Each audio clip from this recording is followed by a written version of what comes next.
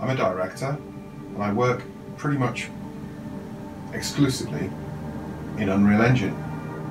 Ding.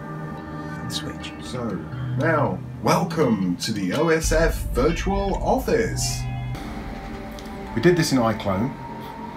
Took around about a day in all to figure out how to, first of all, photogrammetry my head, stick it into the, uh, the software.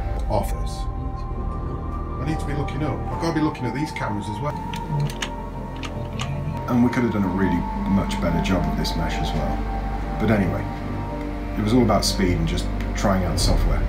If I go like this, then I have to really, really go for it.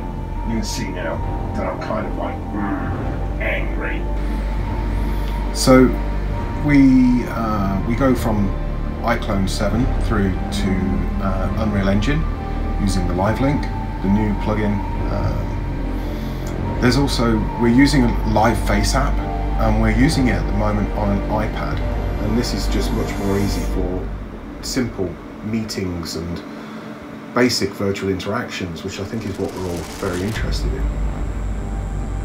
Okay, so um, we'll take a look at some of the software and see what you think.